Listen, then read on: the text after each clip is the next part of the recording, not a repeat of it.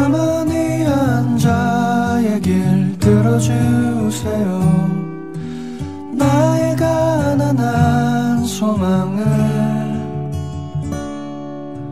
하루하루 난 문을 바라봤어요. 열려질 듯한 희망에 하나씩 조금씩 세상의 모든 색깔을